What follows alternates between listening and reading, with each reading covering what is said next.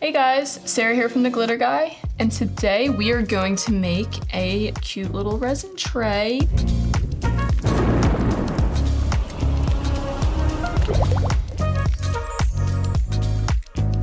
I have this pink cellophane type, I don't even know if it's cellophane, this pink kind of paper that Jason tried to use on a different project and it did not work out. I'm gonna see if it'll make a cute little filler for a tray. So we're just gonna guess a lot because this looks like probably a lot of epoxy. I'm gonna pour half and then let it kind of like tack up. We're gonna put the little cellophane inside and then pour more later on.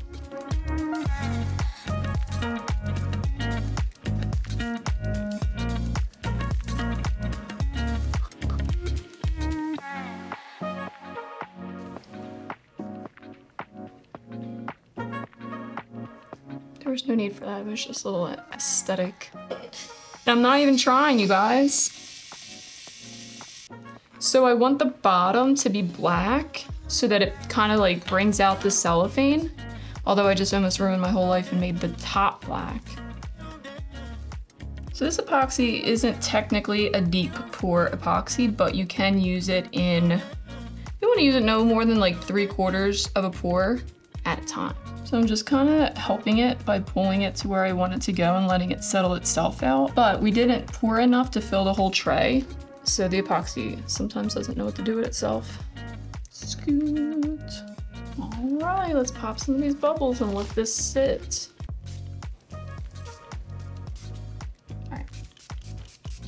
So I'm gonna let this sit for probably about an hour. And then we're going to see if it's tacky enough for our cellophane paper. Well, my fingers are just a wee bit sticky because I had to put my finger right in there and see if it's tacky. All right, so this. Ah! I don't know what it thought it was about to do. Come on now. It's like cling wrap, but staticky instead of clingy. So I want to make it all texturized.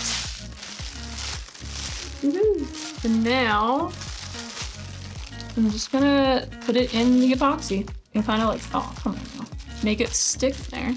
Now that our epoxy is kind of set up, and I'm like leaving some air bubbles under there because that's gonna create like, hopefully like a, some texture. Dimension, I didn't mean texture, I meant dimension on that one. suppose actually this, all of this stuff on the end can get saved for another project. So I'm just kind of going, and mind you, I have no idea what I'm doing, so there's that. But if this comes out well, so you know what I'm doing, I'm just taking it to the edge and making sure that it's in the epoxy while the epoxy is sticky so that it sticks to it. I had no bubbles when I started, but it would appear that I've made some. But I think that the way that they're being made, they're going to look really cool. All right, so I'm gonna leave this for a few hours and let this, and I didn't need gloves at all, and let this uh, completely, not completely, but harden a lot more. And then we're going to trim it up a lot better when it's less pulley outy and uh, pour another layer of resin over it. All right, I don't really know that it's quite the right time to do this, but I really wanna do it anyway. So I just want to, I'm not gonna take the crinkly paper out. I'm just gonna trim it down as much as I possibly can and kind of just put it all inside. I got an even better idea. So we're gonna trim it down a little bit. We're gonna pour the epoxy even though it's not gonna be trimmed as well as it, I wanted it to be. And then we're just gonna trim it afterwards. And uh, I can even sand the sides down if I need to of the tray. Little bit more than halfway filled already.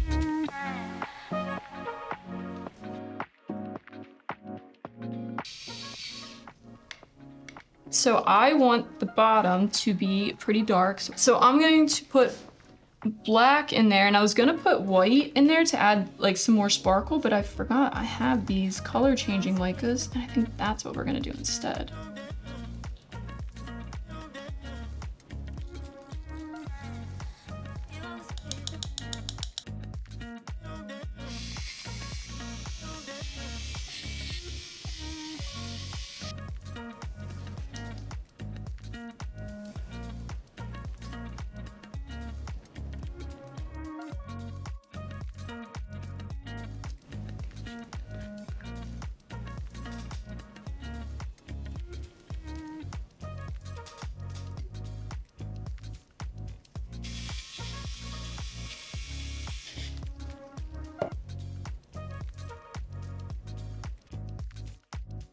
All right.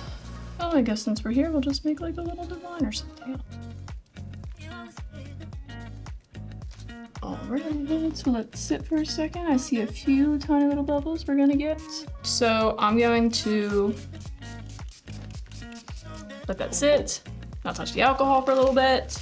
Spritzer, I mean. And tomorrow we're gonna demold this and uh, hope that it came out really cool. I'm gonna see if I can remember to bring my Dremel. If not, I can still sand that down real easy and we'll demold tomorrow. It's the next day and I'm shedding still. Why am I still shedding? I always wanted to do that, but it would have been better with my nails on. Let's demold it. I haven't even demolded this yet, and Jason's already talking crap about my lack of germination pad using.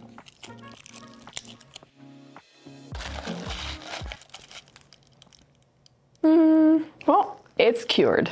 I don't hate the bubbles, but the cellophane does look bomb, especially with that um, mica that we put in the background. I don't hate the bubbles, they're just not my favorite. The big ones anyway. I made these when I put the cellophane on. That's air trapped under the cellophane. I guess we might as well just trim her up though still. Too close to it.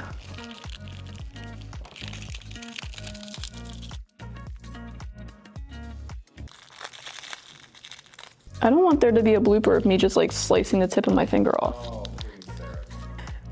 I would not say that this was a fail project. I wouldn't necessarily say it was a prevail either, but I do agree that this is the better side. But I really do like this side still. It's just not, something's not working for me on that side, but this side's really cool. I could definitely just throw some handles here and uh, with my Dremel, if I ever bring it back, smooth out this edge, put it on risers and do a whole pour over. I'm gonna put cellophane a lot more things. I hope you guys do also. I have no idea where Jason got the cellophane. I'm assuming Amazon because that's where we get everything. The mold definitely came from Amazon. The epoxy was from the glitter guy. Mica's from the glitter guy. If you guys haven't yet, definitely like and subscribe to our channel so you can always see all the cool things that come out and if I fail or prevail on my Wednesday craft. And I hope you guys had a great, uh, a great time.